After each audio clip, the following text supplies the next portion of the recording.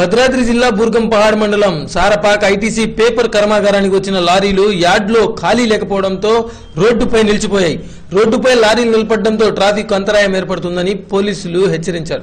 దాదాపు యాభై లారీలు నిలిచిపోయాయి. భారీగా ట్రాఫిక్ జామ్ తలెత్తే ప్రమాదం ఉందని పోలీసులు చెప్పారు.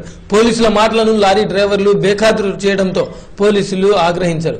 యాభై లారీల ట్రైన్లో గాలి తీశారు. దీంతో ఆగ్రహించిన లారీ డ్రైవర్లు పోలీసులతో వాగ్వివాదానికి దిగారు. ఐటీసీ యాజమాన్యంతో పార్కింగ్ స్థలం కోసం కృషి చేయాల్సిన పోలీసులు లారీ డ్రైవర్లపై జులుం ప్రదర్శించడం ఎంతవరకు సమంజమసని వారు ప్రశ్నించారు. పోలీసుల వైఖరికి నిరసనగా రోడ్డుపై బైఠాయించి ఆందోళన చేశారు. ఏం జరిగింది? ఎవరండి? పోలీసులు. ఎందుకండి?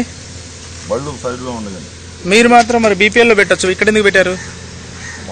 బీపీఎల్ అక్కడ దిగబడతాయండి బళ్ళు లోపల. ఆ, వాటిలో బళ్ళు దిగబడతాయి. ఏమన్నా పోలీసు వాళ్ళు వచ్చి చెప్పి బండ్లు పక్కకు పెట్టమని కూడా అనలేదు? మొత్తం మొత్తం. హెడ్ లైట్లు పగల కొట్టేస్తున్నాం టైర్లు గాలి తీసే తీసేస్తున్నాం అనే టైం కూడా ఇవ్వట్లేదు.